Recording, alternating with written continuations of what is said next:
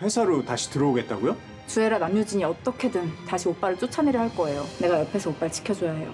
내 기억 속 오빠란 사람이 태양 씨라는 거네. 서연 언니, 혹시 기억이 돌아온 거예요? 한성재단 대신 제품을 납품받겠다는 곳이 있어서 대체 어디서요? 화 회장님 측 계약 대리인 오세린입니다.